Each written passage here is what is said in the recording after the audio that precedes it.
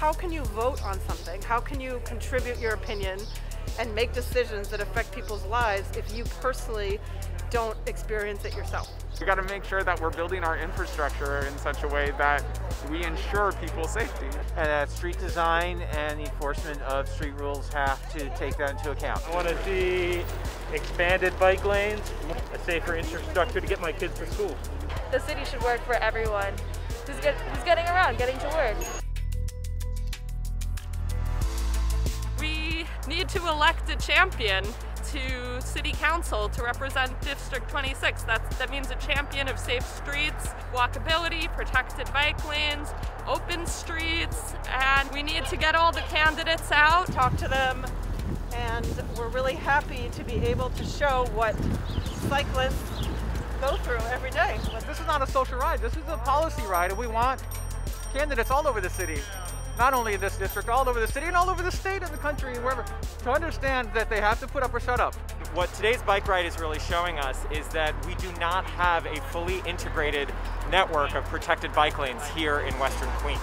We've seen intersections that are dangerous. We've seen bike lanes that are cut off from each other. That's what we're here for, to advocate so that everyone here, especially those who are fighting to represent this district, that they are living the experience of what it's like to be a delivery worker, a daily commuter, a recreation rider. Ten years ago, I actually got a concussion because uh, when riding a bike, I had a car uh, clip me. That's a huge issue for any of us who, who depend on, on riding our bikes. I, am uh, jealous how many great, wonderful council members are running here that are behind safe streets.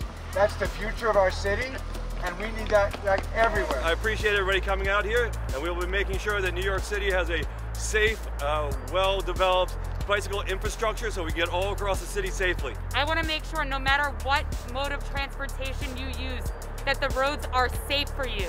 No more can anyone die because they wanted to safely arrive at their destination. So we're stopped here because this is one of the most dangerous and chaotic intersections in this whole district. Uh, from Brooklyn to Queens. It's very clear, right, as we ride through. This is our, this is my daily commute, but it's also the ride for even recreation riders. How dangerous it is for us to even get to this point, especially when there's a lot of traffic. We also need to be able to have places to actually park our bikes. I mean, for so often, it's like it's really hard to find parking, especially near uh, transport hubs. Like there should be safe, secure parking for for bikes at subway stations, and we just don't have that.